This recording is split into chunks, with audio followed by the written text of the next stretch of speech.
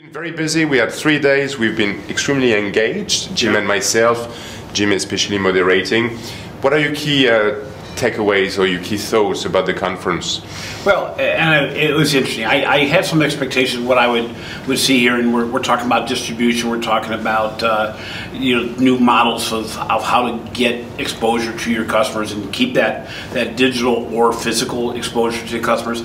I think the biggest takeaway was how different the different countries and the different organizations that were here are addressing the same issue, mm-hmm. and how how a different environment each one of these organizations are. In the, in the United States, um, while there's a lot of different ways to address a, a specific issue, it's usually just one issue because it, it's a nationwide issue. And so your big banks, your small banks, everyone else in between are all trying to do the same thing, but maybe in different ways.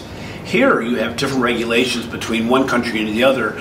You, within close borders, you have completely different attitudes around branching overall. So you, you have the Germany, uh, Germany of the world that are basically very branch driven, and then you have uh, obviously in, in Poland and, and we saw today in, in, India. There's a lot of places right now that people are so engaged with their phones that the branch is almost a, a, a walk away from type situation. And, and I think the the other thing that was a major takeaway was the amount of sharing. Um, mm-hmm. The amount of sharing done, and I think that's somewhat because a lot of these organizations don't compete with other organizations that are are right across the border or in a different area that they feel safe to share. And, and I, it's refreshing because a lot of conferences you'll find that um, people are, will give you a very glossed overview and you start hearing the same thing over and over again.